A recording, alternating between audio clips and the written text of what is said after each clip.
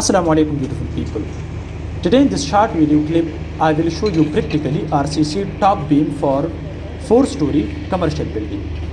Guys here we have 8 number of steel rods, ah. 3 at the bottom, 3 at the ah. top and 2 at the sides. Depth of the beam is 18 inches and its width is 12 inches. Dia of main steel rods are 16 millimeters and stirrup dia is 8 mm with the spacing of 6 inches for L by 4 distance and 9 inches for. As you can see the shuttering for the beam. Depth is 18 inches, width is 12 inches. Look here guys. Hooks are bent with 135 degree.